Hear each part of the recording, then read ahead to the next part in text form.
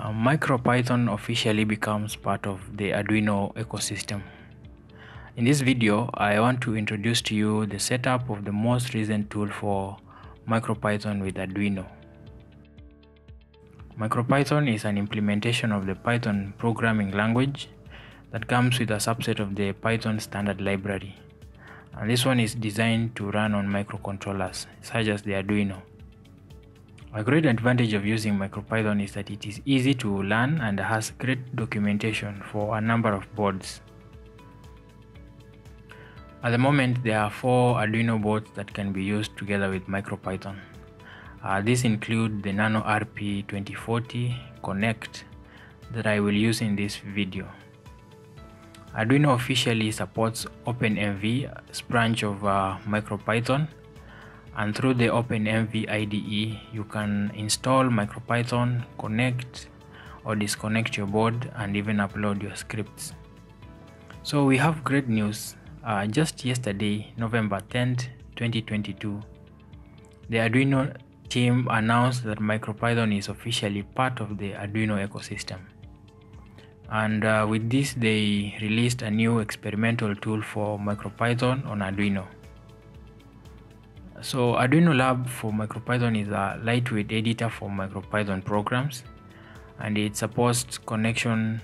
Uh, it supports connection with a board, code upload, file transfer, and an interactive REPL shell.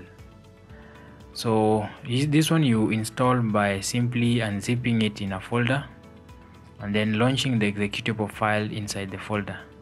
So as simple as that.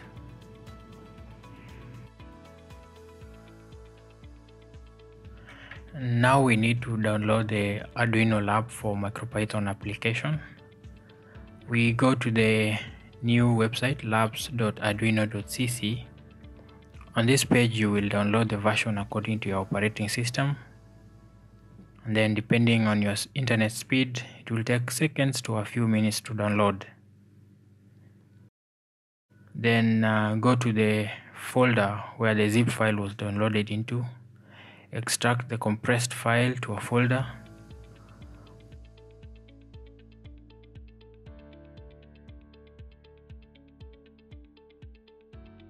Open the folder and run the executable file. So it will just run and this is how the interface looks like with a simple python script to use MicroPython you first need to install it on the board. And so this is the procedure. You first download the .uf2 file from the nano rp2040 connects. Uh, this you find it on the MicroPython webpage. And then after you do this you have to connect uh, disconnect the board from your PC and then place a jumper wire between the recovery and the ground pins on the board. So this one will boot the the board into bootloader mode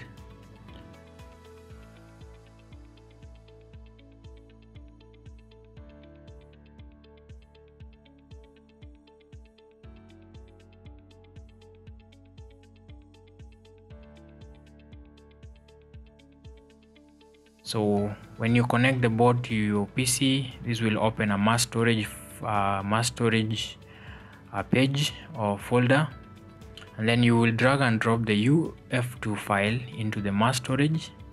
And so this actually will install micropython on your board. So after this you can run the arduino lab software